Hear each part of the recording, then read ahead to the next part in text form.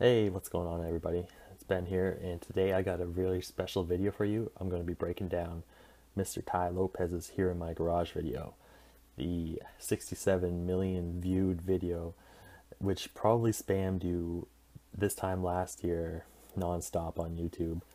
Um, it basically took him from uh, not many people knowing him to like YouTube famous overnight, and now he has like millions of viewers and uh, he's doing all right for himself. So what I'm going to do is basically reverse engineer what he's doing in the video for you and break down everything step by step so that way you can create your own video and maybe it'll be better than his and hopefully you can get really rich too. Um, so without further ado, let's get into it. All right, here we are. So this is Mr. Tai Lopez. Um, as you can see, he has a million views for each one of his 67 steps. so a million views per step, so it's pretty cool. Now, I kind of have an inside scoop on kind of the thought process that he made when he made this video here in my garage. I'm going to play it for you in a second and break it down. But first I want to give you the overall kind of framework and then break apart the specific things that you can add to your videos. So uh, I have this page open here, the StoryBrand. Oop, you know, a little landing page pop up. This is actually a pretty good idea right here. Anyway, um, now with this guy's StoryBrand, the way he the the way he describes StoryBrand, like StoryBrand's all about how to clarify your message so people engage more, as you can see. Now, um, there's basically a few parts to a story. You have your the first part is your character, your character who wants something. Um, the second part is a problem that they run into, and the problem is either an ex- external problem, which could be anything, it, whatever. There's just just watch a mo- any movie, you'll find this is like this problem is usually the hook in movies. Um, And that problem also has an internal problem, which is the emotional pain that you feel from that problem. So, and then the character will usually have a guide. If you think of Star Wars, it's Yoda. Um, if you think of, um, my God, like Rocky, it's the the boxing is the old man, the guy who dies. Mickey, I think his name was.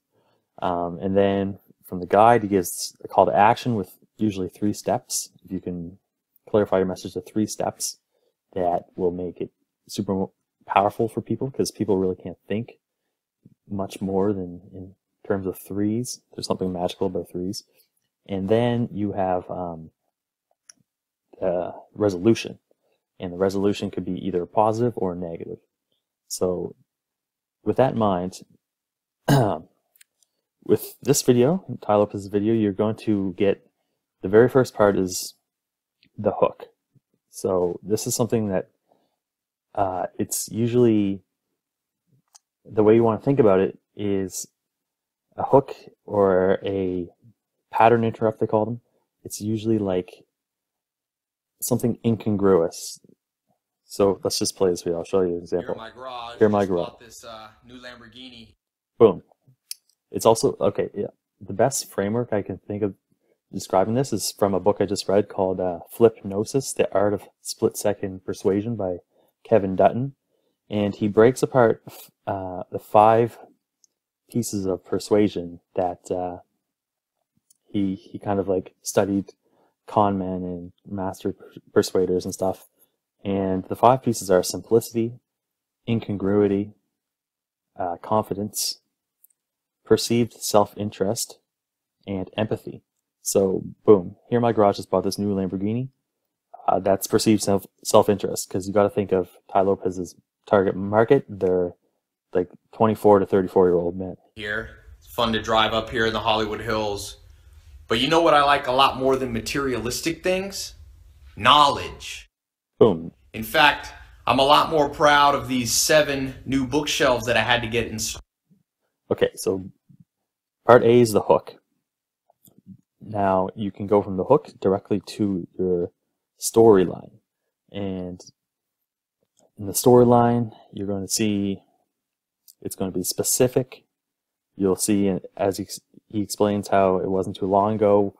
Um, he was living in a trailer in North Carolina, so it's a specific place. He had $47 in his bank account. That's a specific number. And uh, a good storyline has kind of like a rags to riches storyline. It's a good, great storyline. All to hold 2,000 new books that I bought. it's like the billionaire Warren Buffett says, the more you learn, the more you earn. This is a now maybe you've seen thrown in billionaire Warren Buffett. It's like an authority kind of trigger, I guess. My TEDx talk where I talk about how I read a book. Maybe you've seen my TEDx talk. Like all this stuff is just building up the authority in your in your head. A day, you know, I read a book a day not to show off. It's again about the knowledge. In a book a day, once again, it's like an incongruous thing. People don't. usually before this video came out, they don't associate books with Lamborghinis. In fact, the real reason I keep this Lamborghini here is that it's a reminder, a reminder that dreams are still possible because it wasn't that long ago that I was in a little. okay, see his transition to the middle part, so the storyline. Town across the country, sleeping on a couch in a mobile home with only forty-seven dollars in my bank account. Forty-seven dollars. I didn't have a college degree. I had no opportunities. But you know what? Something happened. This this whole Rags Riches story, it's even emphasized more because he didn't have a college degree or opportunities. But you're going to see he's going to mention his guide, the guide that the StoryBrand guy talks about. Happened that changed my life. I bumped into a mentor. Boom, guide. And another mentor, and a few more mentors. I found five mentors. Five mentors. And they showed me what they did to become multimillionaires. They gave me Again, a call to action. It's about money. It's about the good life, health, wealth, love, and happiness. Mm-hmm. And so I recorded a little video. It's actually on my website. You can click here. And then this is the call to action. So go click here to see what my mentors told me. Um, so your call to action, say you're a dentist, uh, maybe your video is, it could be like a before and after video of one of your patients, how they were bullied and teased their whole life. And then when they found, uh, well, let's just say, start with a hook.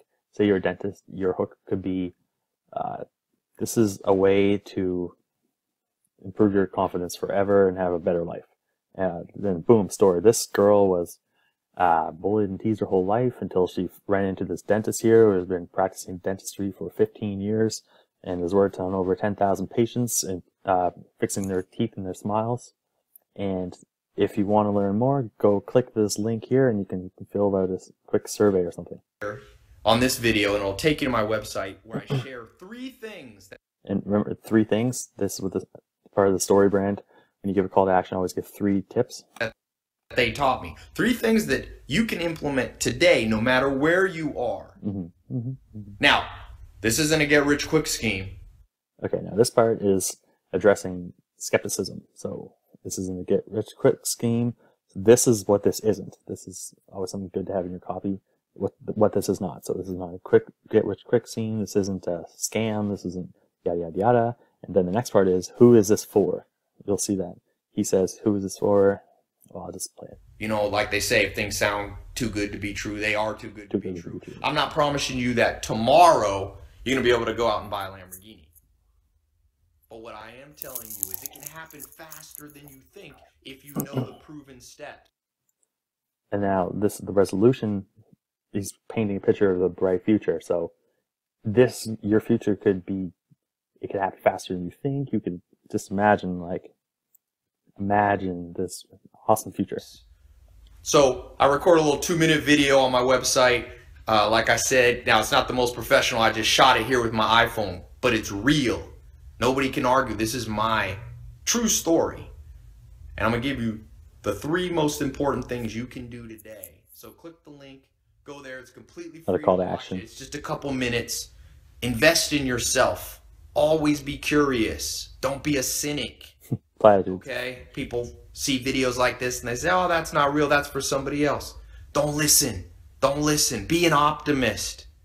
Boom. Like Conrad Hilton, the man who started Hilton Hotel, he said that when he was 15 years old, he read a book by Helen Keller. And that book changed his life. Books can change your life. And in that book, Helen Keller said optimism. Back to the books. So if you're a cynic, if you're a pessimist, you don't need to click here. Don't Okay, see, if you're a cynic or a pessimist, don't click here. This is who it's not for: cynics and pessimists. Pretty broad audience. Don't worry about it. I don't I don't need to talk to everybody, but if you're somebody who knows that there's something better because the dream is possible.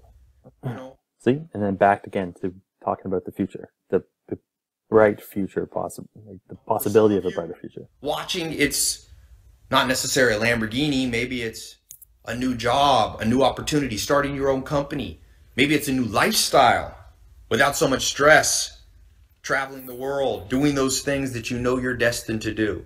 You can't do those unless you understand finances. Money, I don't call it money anymore.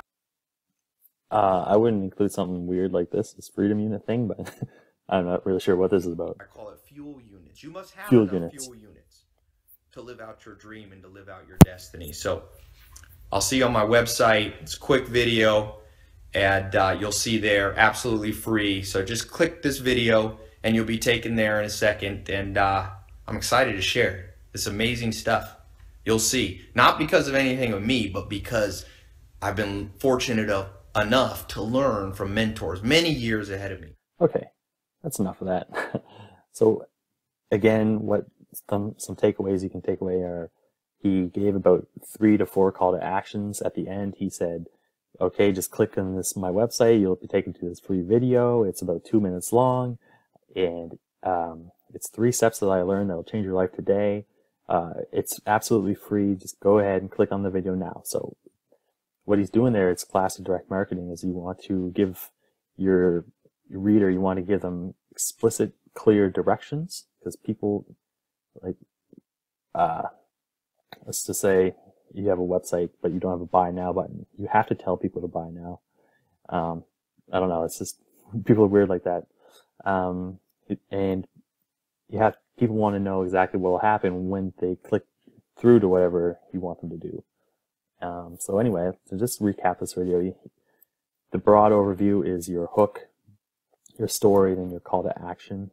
Uh, within those things, your hook can be something incongruous, so something you wouldn't assume, like, if you think of a Lamborghini, you don't immediately think of books until after you watch this video.